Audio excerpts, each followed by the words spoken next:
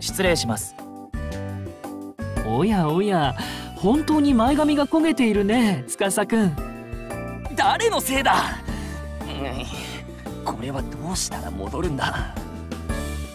けこいつら昼間の返事ワンツー。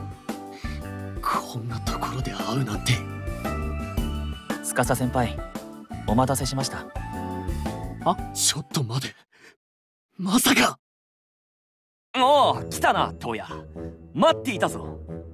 お忙しい中時間を作ってくれてありがとうございます。はあ気にするな。俺とお前の仲ではないか。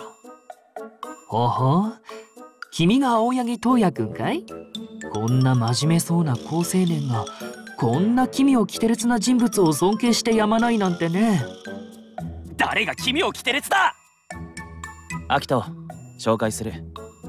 昼休みに話した俺の尊敬する先輩だ。はマジかよ。